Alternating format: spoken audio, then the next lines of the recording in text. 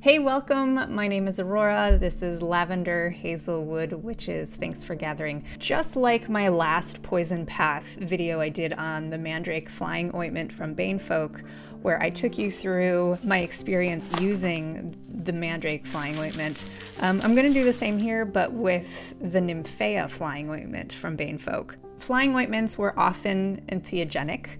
Um, Entheogens are substances that will change your consciousness in some way or your perception.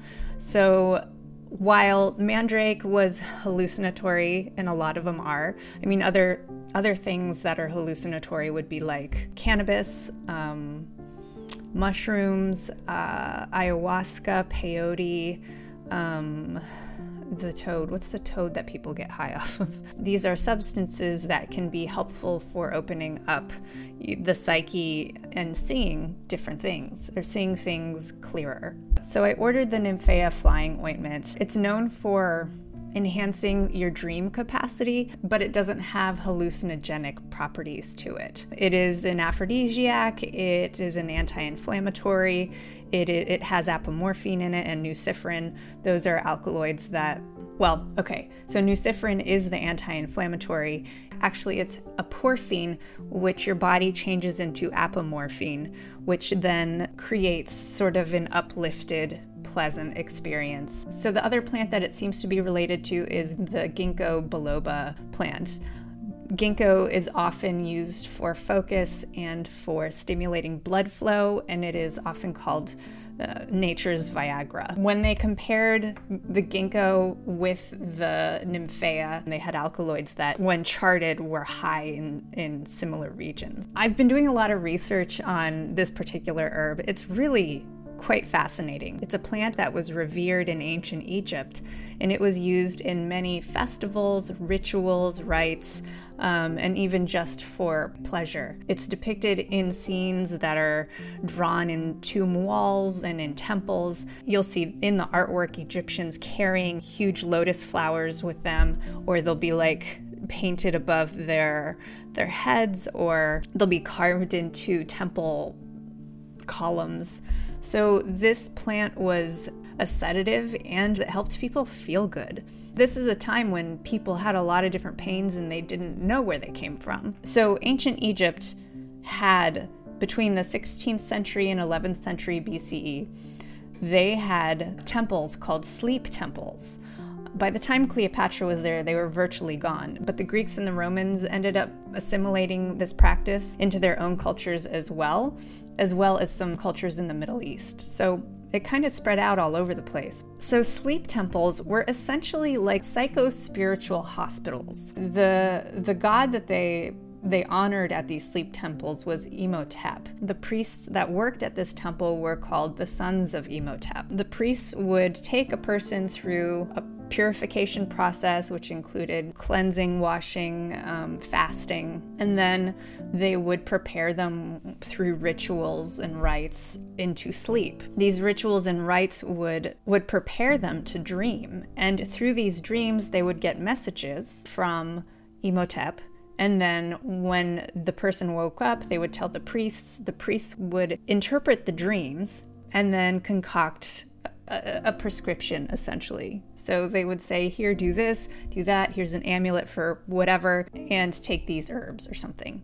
So these sleep temples were healing places that tended to be placed next to water as well because they felt the water had a strong healing presence for people. Nobody's sure exactly what went on in these temples. However, it is a strong likelihood that the Nymphaea caerulea was used to help them dream and get the messages that they wanted or needed for healing. So there's a wash of sort of the history behind the Blue Lotus and also sort of like my interest in, in using it and how it's correlated to ancient history. Scientifically, this Blue Lotus, it's technically a water lily, has not changed its biological profile in 4,000 years. So it is essentially still the same plant today as it was back then, which is really quite cool. So my interest in using this is actually through meditation. I mean, it's always meditation, really, but like, is trying it out before sleep, so dreaming, um, but also with Yoga Nidra, which is it's sort of a meditative practice, but uh, is a full body intentional practice that keeps you sort of like suspended in a liminal place, very much awake. You're halfway between asleep and awake in a lucid dreaming state. Let's go try this. Let's go see what happens.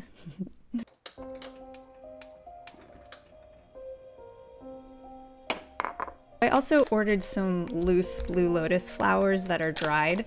I'll leave a link in the description box if you would like to, to give this a whirl as well.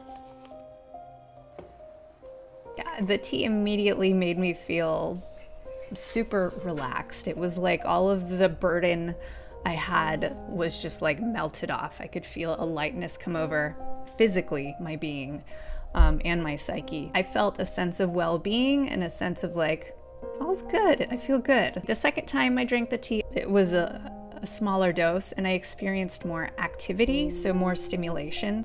I felt like I could feel my blood sort of infiltrating my body. Like it, I felt more alive. I want to try it again and go back to the amount that I had taken the first time and see if my theory is correct that the less I took creates more stimulation, the more I take creates more sedation.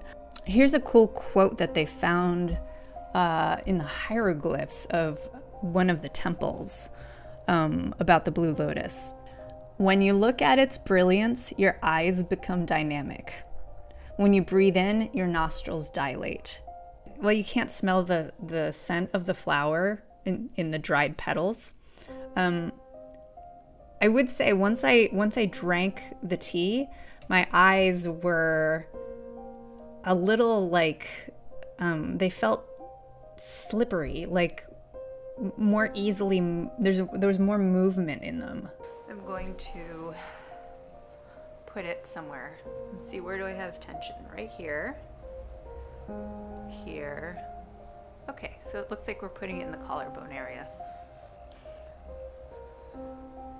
Um, I have no idea in terms of dosage how much to put on. This is kind of what happened with the mandrake ointment last time. I had no idea how much to use, and so I overdid it.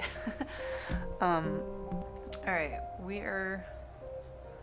She says to put it on the temple. Oh, immediate something. Here. All right. Third eye, temple, temple, neck. We'll start there and see what happens. So we're gonna put more on. ah, I feel like I'm bathing in it. -do.